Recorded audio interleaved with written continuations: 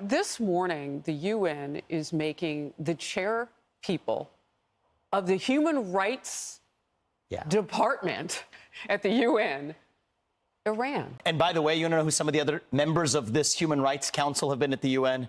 North Korea, mm-hmm. Venezuela, others. So the UN has quickly devolved into a joke of an institution, Harris. And I have long said it is reasonable for the U.S. to even reconsider our funding or participation in the UN.